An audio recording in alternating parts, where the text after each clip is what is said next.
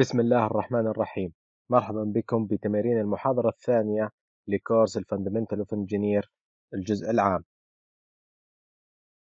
أخذنا في المحاضرة جزئية من الجبر وال complex number و straight line وكذلك ال quadratic equation وال sphere سطح الكرة. هذه هي الأسئلة اللي على هذه الجزئية هنحاول حل بعضها بإذن الله. نبدأ في السؤال الأول.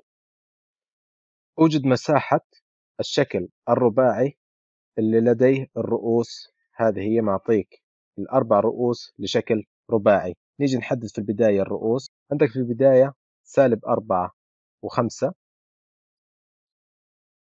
وصفر وسبعة وسالب خمسة وخمسة وسالب خمسة. وآخر نقطة سالب أربعة وسالب اثنين. بعد ما حددنا النقاط نوصلها مع بعض. تعطينا هذا الشكل الرباعي. خلينا نفترض إنك لو عندك أرض والأرض هذه غير مستوية والحدود تبعتها غير واضحة. ممكن تقسم هذه الأرض إلى عدة أشكال هندسية بحيث إنك تقدر تحسب مساحتها. طيب إحنا الآن عندك شكل رباعي. عشان تقدر تحسب مساحته في البداية قسمه ممكن تقسمه بهذا الشكل. عفوا. هذا الشكل. فأصبح عندك مثلثين أو ممكن تقسمه بهذا الشكل ويصبح كذلك عندك مثلثين. وتحسب ولو قدرت تحسب مساحة المثلث الأول وتجمعه على مساحة المثلث الثاني راح تقدر تعرف مساحة الشكل. خلينا ناخذ أول مثلث ونحسب مساحته في البداية نحدد النقاط. صفر سبعة سالب أربعة وخمسة سالب أربعة وسالب اثنين. ال reference handbook طبعا إحنا نسوي الحسابات فقط بالقوانين المعطاة لدينا في ال reference handbook إذا أنت حافظ قوانين أخرى الأمر برجع لك إنك تستخدمها أو تستخدم فقط اللي في ال reference handbook طيب. المعطى لدينا في ال reference handbook هو قانون مساحة الشكل الرباعي. نعطيك شكل رباعي بهذا الشكل وهذه الزاوية ثيتا ومعطيك إنه هذا الضلع B هذا الضلع A والارتفاع H. ال area لهذا الشكل الرباعي هو A في H واللي يساوي A في B في sine ال theta. طيب إحنا لدينا مثلث أي مثلث ممكن وصله بنفس الأسلوب لشكل رباعي؟ لو كملنا هذا المثلث هذا الضلع اللي هنا ضلع آخر موازي له والضلع اللي هنا نفس الأسلوب أصبح لدينا هذا الشكل الرباعي. طيب عشان نحسب مساحته لازم نجيب في الأول ال A وخليها الضلع اللي هنا A والضلع اللي هنا B. ال A يساوي جذر سالب أربعة ناقص صفر كل تربيع زائد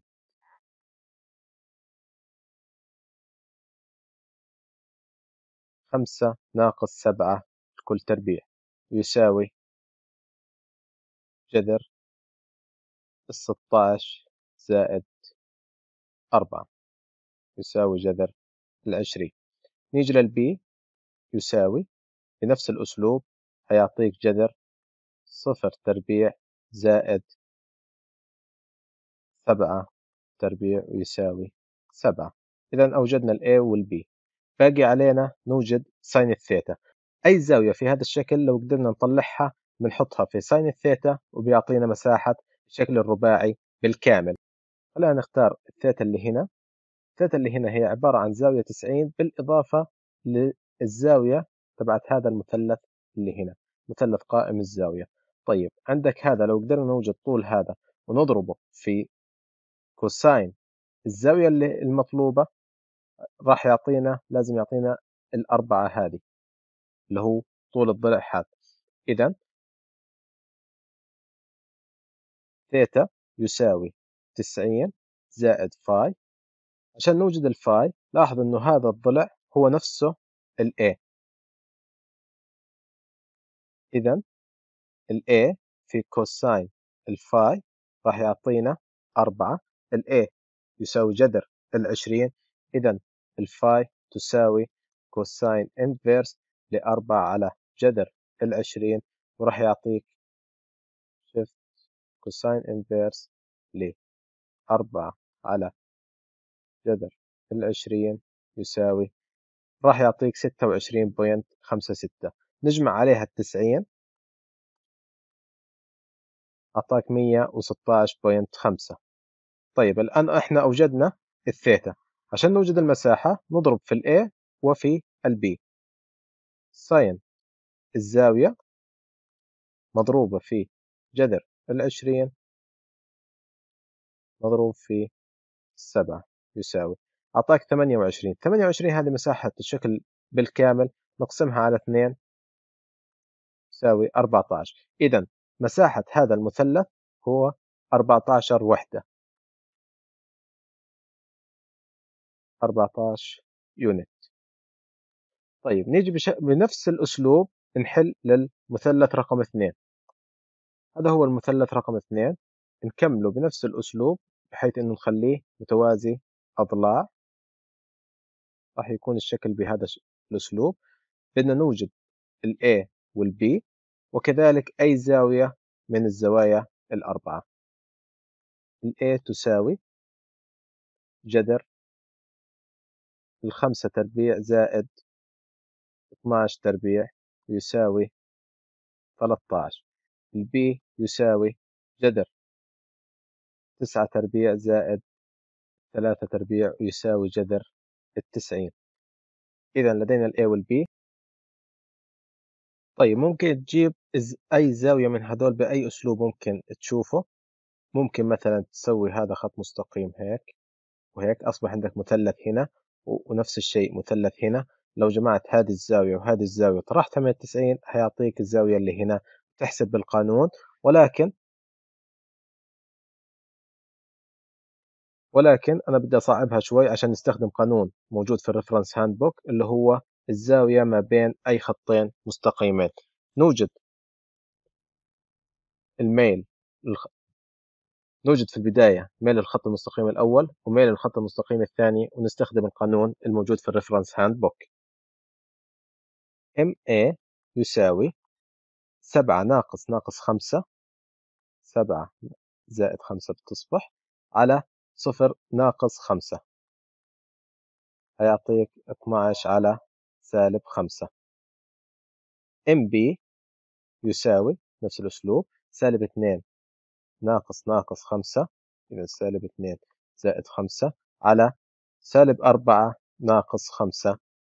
أعطاك سالب تسعة يساوي ثلاثة على سالب تسعة يساوي واحد على ثلاثة بال minus.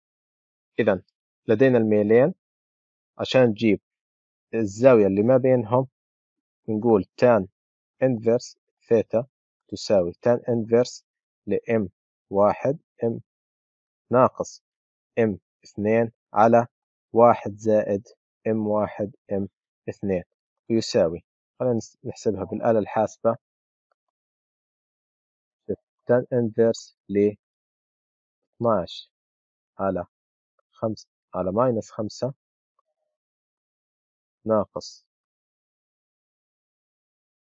ثلث سالب الثلث على واحد زائد اثناش ضرب واحد على السالب مع السالب بروحه خمسة ضرب ثلاثة. يساوي. أعطاك سالب ثمانية وأربعين point تسعة. لاحظ أنه السالب يفترض يكون في ال reference handbook يوجد absolute value هنا عشان الزاوية تكون بالموجب ولكن بغض النظر عن هذا السالب فالزاوية اللي أنت بدك إياها تستخدمها 48 عشان هيك أنا بقول لك لازم تستخدم وتدرب حالك على القوانين الموجودة في ال reference handbook طيب نيجي على نلاحظ أول حاجة أنه عندك أنت الأربع زوايا. أي زاوية أعطاك إياها؟ أعطاك الزاوية الأقل إذا هي الزاوية اللي إحنا كنا بدنا إياها الثيتا. لو كانت الزاوية فلنفرض إنه أنت ما بتعرف أي زاوية من الأربع زوايا أعطاك أو بالأحرى أي زاوية من الزاويتين المنفرجة أو الحادة أنت ممكن لأنه أنت راسم الخطين المستقيمين تقدر تعرفها من قيمتها. إذا هذه هي الزاوية 48.9 الحين نجيب ال A B مضروب في sine هذه الزاوية. sine minus أنس مضروب في جذر تسعين مضروب في 13 طيب أعطاك 93 لاحظ إنه هذا 93 تبعت الشكل بالكامل نقسمها على 2 أعطاك 46 ونص. نجمع عليها ال 14 أعطاك 60 ونص. إذا هذا الشكل. 93 على 2 إذا الشكل بالكامل إذا الشكل بالكامل يساوي ال 14 زائد ال 93 على 2 وبراح يعطيك 60 ونص unit. وأقصد بال unit وحدة قياس يعني لو كانت هذه بالسنتيمتر فهتكون 60.5 سنتيمتر تربيع. لاحظ لأنه مساحة. نيجي على السؤال الثاني. يقول لك قاعدة equilateral triangle مثلث متطابق الأضلاع لدي لدي إحدى الجوانب 2A lie يعني مع على ال y axis. Such that the midpoint of the base is the original. في البداية خلينا نرسم المثلث زي ما هو بعطيك إياه إنه له القاعدة تبعت المثلث موجودة على الواي axis وهذا المثلث والقاعدة هذه طولها 2A 2A وال mid point that ال mid point هي ال origin. طيب إيش المطلوب؟ Find the vertex of the triangle. أوجد. يقول لك 2A إذا وهذا 2A وهذا 2A لأنه equal triangle. بده توجد رؤوس المثلث. طيب عندك الآن في ال origin اللي هي صفر وصفر في منتصف القاعدة والقاعدة طولها 2A إذا الارتفاع تبعها هيكون A والنزول تبعها هيكون ب minus A. إذا النقطة اللي فوق هتكون صفر و A واللي تحت صفر x و minus A في ال y. طيب نيجي نحسب النقطة الثالثة أو الرأس الثالث للمثلث. لاحظ أنه هذه الزاوية بالكامل بما أنه مثلث متطابق الأضلاع إذا الزاوية بالكامل 60 60 60 هذه الجزئية اللي هنا هي 30 درجة. إذا ممكن نحسب طول هذا الضلع أو الارتفاع نحسب عن طريق نقول cosine الثلاثين مضروبة في الاثنين A راح يعطينا الطول هذا. cosine الثلاثين cosine الثلاثين يساوي جذر الثلاثة على اثنين الاثنين مع الاثنين راحت. إذا هيعطيك A في جذر الثلاثة. إذا هذه النقطة راح تكون صفر في ال y صفر في ال y وفي ال وفي ال x A جذر ثلاثة. نيجي على السؤال اللي بعده. بيقول لك find ال slope لل line حيث أن هذا ال line يقطع ال origin وكذلك ال mid point of line segment joining the point واحد واثنين. خلينا نرسم في البداية النقاط تبعتنا. النقطة الأولى صفر وسالب أربعة. وعندك ثمانية وصفر. هذول النقطتين بينهم خط مستقيم. وعندك خط مستقيم ثاني المطلوب هو يقطع المنتصف تبعهم وكذلك الأوريجينال. إذا السلوب اللاين المطلوب ال slope تبعه هو بهذا الشكل يقطع ال origin ال ويقطع كذلك ال mid point لهذا ال line طيب نيجي نحسب في البداية ال mid point وينها ثم نحسب الميل عن طريق أنه هذه النقطة صفر صفر وعندك نقطة ثانية على نفس الخط المستقيم. طيب عشان نيجي نحسب النقطة منتصف هذا الخط المستقيم خلينا نمثله أول إشي بمثلث.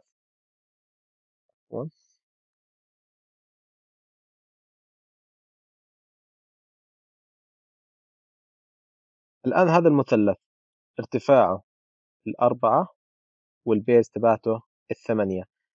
طيب عشان نعرف النقطة اللي في المنتصف خلينا نكمله على شكل مربع أو مستطيل عفوا. هذا ثمانية وهذا أربعة. لاحظ أن النقطة اللي في المنتصف هي هتكون عبارة عن نص الأربعة هذه هذا الشكل ونص الضلع هذا بهذا الشكل. يعني خلينا نمثله هنا. هو عبارة عن مستطيل لو قسمته من المنتصف بهذا الأسلوب هذا بالكامل أربعة هيكون هذا اثنين وهذا اثنين وهذا بالكامل ثمانية هذا أربعة وهذا أربعة. النقطة اللي في المنتصف هي نفسها النقطة التي تنصف الوتر. إذا أنت بكل بساطة هذه النقطة بما أنه هذا بالكامل أربعة ارجع إلى النص. إذا هذه النقطة أربعة في الإكس وفي الواي بما أنه هذا بالكامل أربعة ارجع اثنين في المنتصف إذا سالب اثنين. أصبح عندنا النقطتين اللي على الخط المستقيم ونوجد السلوب الام يساوي صفر وناقص ناقص اثنين على صفر وناقص أربعة هيعطيك نص بالماينس.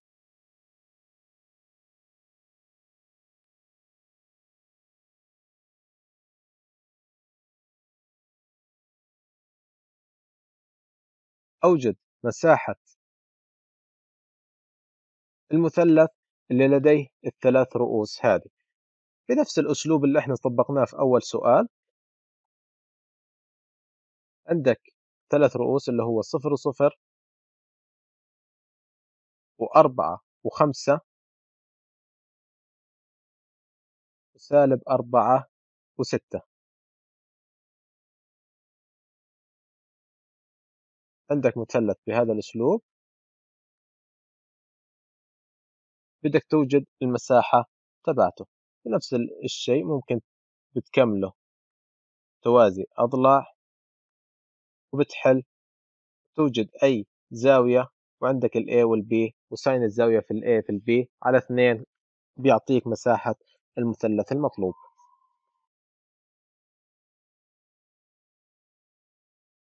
ولكن أنا بحب أصعبها شوي عشان هيك بدي أحلها بطريقة ثانية أصعب ولكن أنا بدي أستخدم طريقة ثانية للحل عشان ننوع في الأفكار. عندنا مساحة المثلث المتعارف عليه إنه الأريا للمثلث تساوي نصف القاعدة أعتبر إنه ال B هذه القاعدة في الارتفاع. الارتفاع أي؟ الارتفاع هو اللي بيعطيك خط مستقيم وهنا الزاوية 90 هذا هو ال H. طيب إحنا ال B ممكن نوجدها لأنه هذه النقطة هي السالب أربعة والستة. وهذه النقطة صفر والصفر. وهذه النقطة الأربعة والخمسة. البي يساوي جذر الأربعة تربيع زائد الستة تربيع بيعطيك جذر الاثنين وخمسين.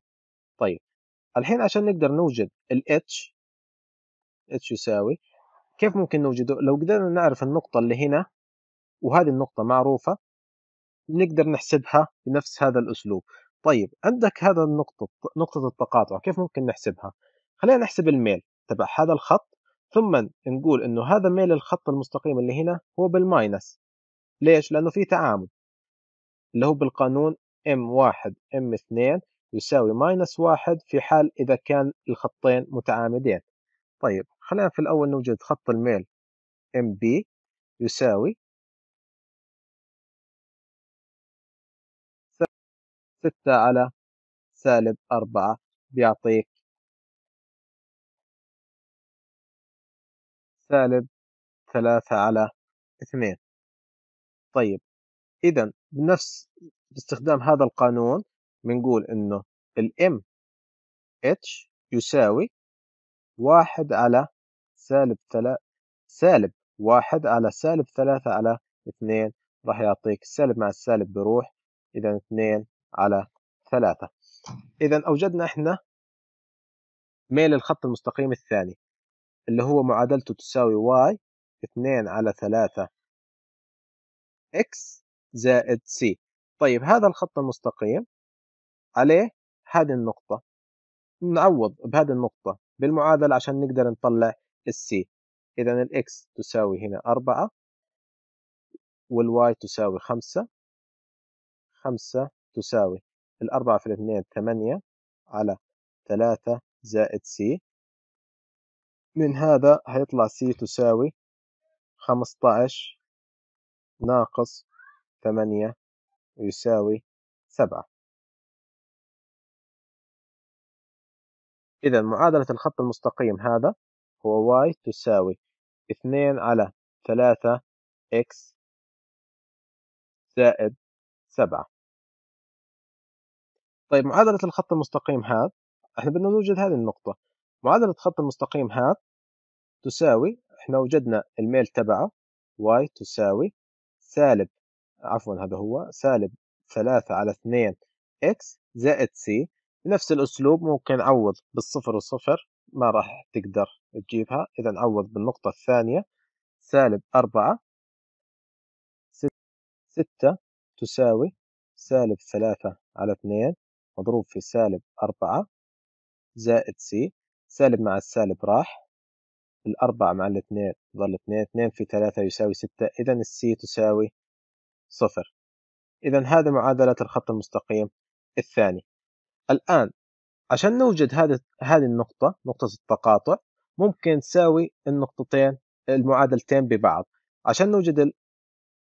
بمعنى خلينا ال Y تساوي ال Y إذا سالب ثلاثة إكس على اثنين تساوي اثنين على ثلاثة X زائد سبعة.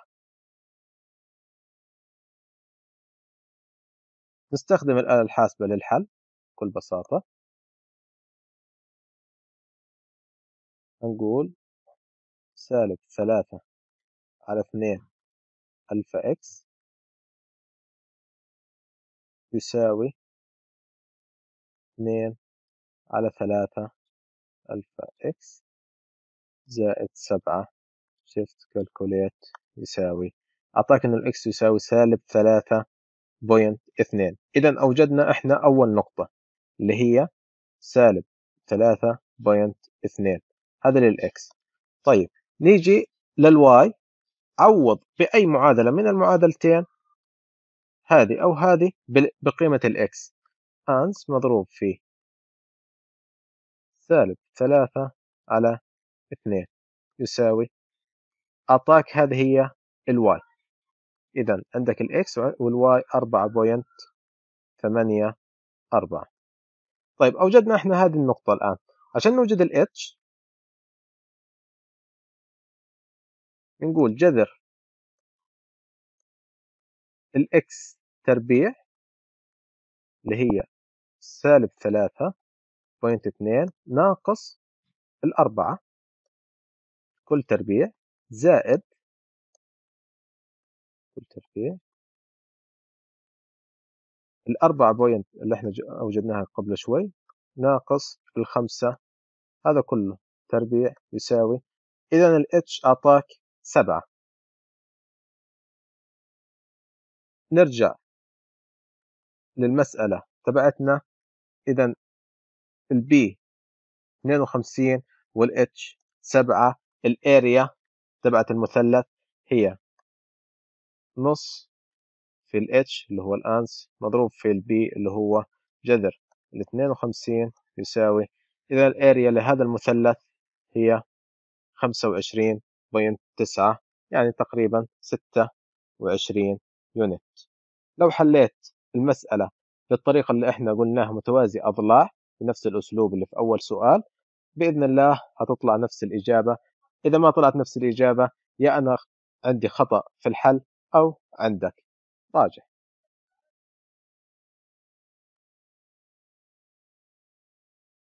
هذه الأسئلة أنا ما حليتها شايفها يعني بسيطة بإذن الله. إذا بدك تعرف الحلول تبعتها هذه هي.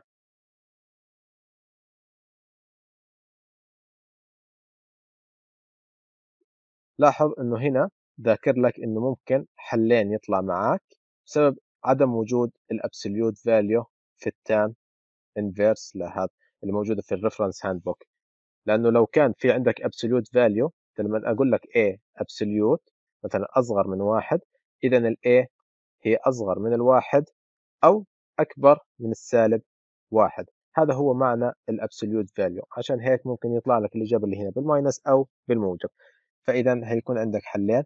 ولكن في ال reference handbook يعني في الغالب الأسئلة اللي راح تجيك ما راح تحتاج تطلع على ال absolute ولكن أنت بدك تعرف إنه أي زاوية راح تطلع لك فأنت إذا طلعت لك بال minus فاعتبرها موجب. وكمل حلك بشكل عادي.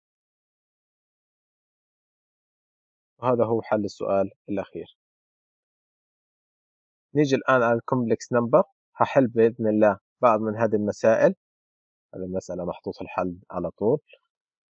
طيب نيجي على السؤال الأول. I أس سالب 93 آه تس... آه 39 طيب إحنا عندنا by default الآي ضرب I أول إشي الآي الصفر يساوي واحد الآي أس واحد يساوي آي الآي تربيع اللي هي آي ضرب آي يساوي سالب واحد. عندك الآي أس ثلاثة ضرب آي يساوي سالب آي وعندك الآي أس أربعة يساوي سالب واحد في سالب واحد واحد. عندك أنت هذول by default أنت عارفهم. لو قدرت توصل المعادلة هذه لأي صورة من هذول الصور راح تقدر تحلها. إذا I أس سالب تسعة وثلاثين هذه I أس سالب ستة وثلاثين في I أس سالب ثلاثة.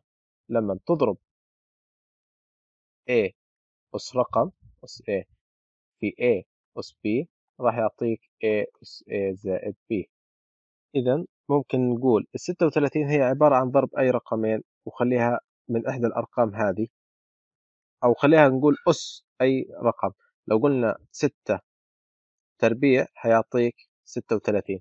إذا هذا تساوي I أس سالب اثنين أس ستة أو ستة أس اثنين في I أس سالب ثلاثة. طبعا هذه اللي هنا الجزئية I أس سالب اثنين. عندك هذه هي I أس تربيع. الآي تربيع هذه تساوي خلينا نسجلها. تساوي واحد على I تربيع الكل أس ستة في I أس سالب ثلاثة. نحلل كمان ال I أس سالب ثلاثة خلينا نقول إنها تساوي واحد على I أس ثلاثة. وهذا يساوي الآي تربيع هو سالب واحد واحد على سالب واحد الكل أس ستة وهذا راح يعطيك واحد لأنه الستة عدد زوجي سالب واحد أس عدد زوجي هيعطيك واحد أس عدد فردي هيعطيك سالب واحد. مضروب هذا كله في I في واحد على I أس ثلاثة. الآي أس ثلاثة تساوي واحد على سالب I. انتقل مقام يعني اضربه في المقام نفسه سالب I هذا مضروب في سالب I على سالب I يعني كأنك ضربته في واحد يساوي الاي مع الاي آي. تربيع وسالب واحد. إذا هذا هيعطيك واحد مضروب في سالب آي على سالب مع السالب موجب والاي مع الاي يعطيك سالب واحد. السالب مع السالب هذا راح يروحوا إذا بيعطيك آي. إذا الاي أس سالب تسعة وثلاثين يساوي اي يقول لك مثل ال form هذا آه هذه المعادلة بهذا ال form. نستخدم الآلة الحاسبة بشكل سريع. ثلاثة في سبعة زائد سبعة آي زائد آي في سبعة زائد سبعة آي يساوي هيعطيك 14 زائد 28 آي. ولو طلب منك في ال polar form بتقول shift اثنين بتحوله إلى ال polar form ثلاثة يساوي. هذه هي ال polar form الواحد وثلاثين والزاوية ثلاثة وستين. Convert the to in polar form.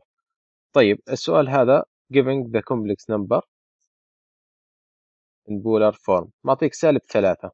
بده إياه بال polar form. نقدر نستخدم الآلة الحاسبة بشكل بسيط. سالب ثلاثة shift اثنين ثلاثة يساوي. لاحظ إنه أعطاك إياه ثلاثة بزاوية مية وثمانين. اللي بعده. solve ال equation هذه حيث أن ال x أقل من واحد. طيب نيجي بالآلة الحاسبة. عندك equation تربيعية mode خمسة.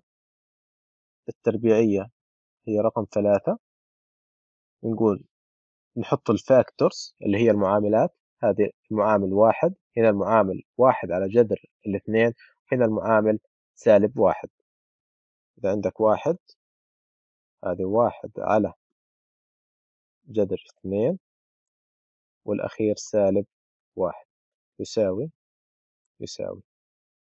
أعطاك جذر الاثنين على اثنين والجواب الثاني سالب جذر الاثنين. إذا هذه هي الحلول تبعت لاحظ إنه قال لك كذلك إنه الإكس لازم يكون أصغر من الواحد. لو اختار لو كان إحدى الإجابتين أكبر إنه الإكس أكبر من الواحد فهذه الإجابة مرفوضة. طيب نيجي للسؤال اللي بعده. راح نقول إنه عند قايل لك إنه عندك المعادلة هذه وبده حل للمعادلة هذه. هذا هو الحل النهائي. طيب كيف إحنا ممكن نسوي؟ طبعا ممكن تحلها تجيب تقول إنه x زائد i أس y أس ثلاثة يساوي عبارة عن ضرب ثلاث أقواس. تقعد تضرب كذا وتحسبها وتاخذ الريال بارت مع الريال بارت والإيماجينري بارت مع الإيماجينري بارت. تقعد تسوي الحسابات هذه كلها. طيب ولكن إحنا إيش ممكن نسوي؟ الآلة الحاسبة الجميلة تبعتنا. mode complex. طبعا إحنا ما راح نقعد نفصل وتاخذ وقت معانا. طيب كيف ممكن نمثلها؟ خلي ال x وال y افترض لهم أي قيم. واحد واثنين. لما تيجي تجرب تقول واحد زائد اثنين آي الكل تكعيب يساوي أعطاك سالب 11 سالب 2 آي.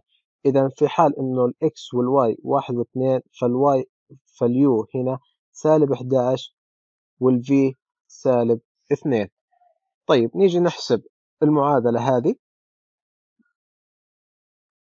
هنيجي نقول إنه ال u سالب 11 على ال x اللي هو واحد زائد سالب 2 على ال y اللي هو الاثنين يساوي. أعطاك سالب 12 طيب أي حل من الحلول الأربعة المعطى لك في الاختيارات؟ لازم يعطيك هذه الإجابة في حال إنك سويت اخترت هذه القيم لل x وال y. تعال نجرب في هذا الحل المعطى. أربعة في إكس ألفا إكس تربيع ناقص ال y تربيع اللي هي الاثنين تربيع. اللي نعوض بال x بقيمتها. واحد يساوي سالب 12 إذا أي معادلة من الأربع معادلات راح راح تعطيك قيمة مختلفة عن السالب 12 طيب افترض إنه فعلا أنت جربت مع الأربعة وفي واحدة أعطتك minus 12 افتراضيا غير القيم اللي هنا. اختر للقيم لل x وال y ثلاثة وأربعة وسوي الحل بنفس الأسلوب. راح تقدر توجد الحل للمعادلة.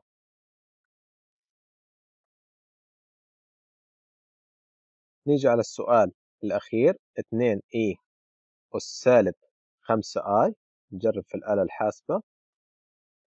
2 في ألف e أس سالب 5 i يساوي أعطاك math error طيب إذا كيف ممكن نحل هذه؟ ال Euler form اللي شرحناها من قبل ومذكورة في ال reference handbook معطيك إنه ال e أس سالب j theta يساوي cosine الزاوية ثيتا ناقص j sine ال theta طيب بما إنه هنا في اثنين عندك اثنين اذا هذه مضروبة كلها في اثنين طيب عندك الثيتا اللي هنا هذه بتطبقها بهذا الأسلوب خمسة إذا الثيتا عندك خمسة خمسة. إذا هذا يساوي اثنين في cosine الخمسة ناقص j أو i في sine الخمسة. اثنين cosine الخمسة ناقص i مضروب في sine الخمسة. يساوي. إذا هذه هي القيمتين. لو كان معطيك الزوايا بالدجري آه، بالراديان وليس الدجري نفس الأسلوب يساوي هتاخذ هذه القيم. يعني إذا عند استخدام الزوايا لاحظ أنه ممكن مرة يستخدم هنا الراديان وممكن يستخدم الدجري هذه الأسئلة اللي ما حليتها حاولوا تحلوها أول سؤال مثل هتحلل في البداية ثم تستخدم الآلة الحاسبة عشان تطلعها أو بدون استخدام الآلة الحاسبة تطلعها بهذا ال form given complex number ال form نفس الأسلوب أس ثلاثة. هذه هذه ممكن تطلعها مباشرة بالآلة الحاسبة. Convert the complex number uh, in polar form كذلك جذر ثلاثة minus i وتسوي shift اثنين لل complex تحويل. Convert the complex number in polar نفس الأسلوب كلهم. بإذن الله أشياء سهلة. هذه كذلك أتوقع ممكن تستخدم الآلة الحاسبة مباشرة. طيب ال quadratic surface exercise عندك عندنا هذول السؤالين. هنحاول نحلهم. sphere of center عندك sphere ال center تبعه. هذا هو. وال point on surface هذا هي. find the diameter. طيب. بقول لك أوجد قطر الكرة اللي ال center تبعها هذا هو وعند وعندك نقطة على سطح الكرة هذه هي. باستخدام القانون الموجود في ال reference handbook عندك ال d تساوي. طبعا لاحظ إنه ال d من ال center إلى السطح هو طالب ال diameter. اذا هتوجد هت... لما توجد ال d هتضربه في اثنين هيعطيك ال diameter. لو كان طالب منك ال radius ال radius اللي هو نصف القطر فاذا هو ال d مباشرة. طيب إيش ال d هذا تساوي؟ جذر هت... اثنين ناقص ناقص واحد اللي هي هتطلع ثلاثة تربيع زائد ناقص اثنين ناقص اثنين ناقص ناقص اثنين هيعطيك صفر تربيع زائد صفر ناقص ثلاثة تربيع ثلاثة تربيع يساوي جذر الثمنتاش. تضربه في الاثنين هيعطيك للسفير طيب نيجي للسؤال الثاني. A metal sphere radius centimeter and recasted into shape cylindrical centimeter? Find the height of the cylinder.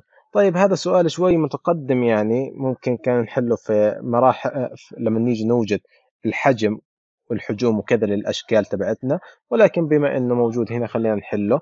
بيقول لك عندك كرة الها الراديانس 4.2 سنتيمتر تم إذابتها وتحويلها إلى شكل آه، أسطواني بهذا الشكل لديه ال radius 6 سنتيمتر. فأوجد الارتفاع لهذا. طيب إحنا ممكن لازم في البداية تشوف الحجم تبع الكرة بالكامل تحول إلى حجم بالكامل. موجود عندك في ال reference handbook إنه حجم الكرة ال V يساوي 4 pi في r تكعيب على 3 طيب هذا أنت عندك ال radius بتعوض بالآلة الحاسبة هيعطيك قيمة. حجم الأسطوانة كذلك موجود في ال reference handbook ال V تساوي pi r square في الاتش في الارتفاع. وهيعطيك أنت عندك ال pi وعندك ال V هتساوي الحجمين مع بعض وتطلع الاتش نستخدم الآلة الحاسبة. أربعة. pi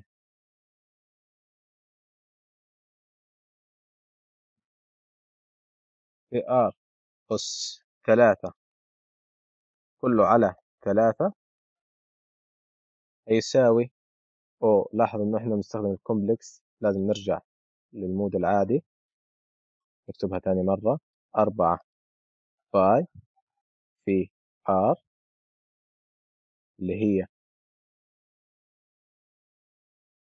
أربعة point اثنين أس ثلاثة على ثلاثة. هذا يساوي ال pi ال r اللي هنا اللي هي ستة. تربيع في alpha x. shift calculate solve for x هي مشكلة. هذه لازم تحط الضرب هنا. ممكن نحسبها الآن. ولازم هنا كذلك نحط الضرب. ضرب ضرب shift calculate solve يساوي. إذا أعطاك إنه ال height تبعك تبع ال cylindrical هو 2.744 سنتيمتر. وبهذا بنكون خلصنا تمارين المحاضرة الثانية. والسلام عليكم ورحمة الله وبركاته.